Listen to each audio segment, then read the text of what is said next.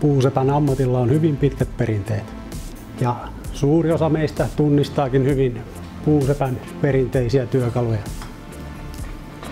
Puusepän ammatti on monipuolinen ja näiden perinteisten koneiden ja laitteiden käyttämisen lisäksi myös on tullut tämä uusi teknologia toimintaan mukaan.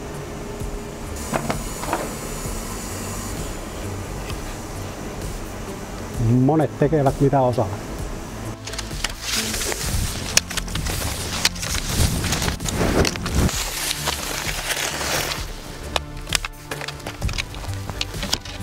Puuseppä tekee mitä haluaa.